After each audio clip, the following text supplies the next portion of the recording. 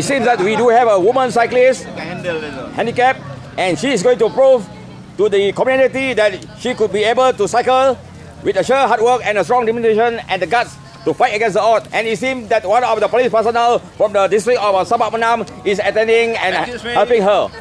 And it will be a very grateful for her that uh, she has been uh, giving a very good and rendered a very good assistance. Thank you so much for doing so.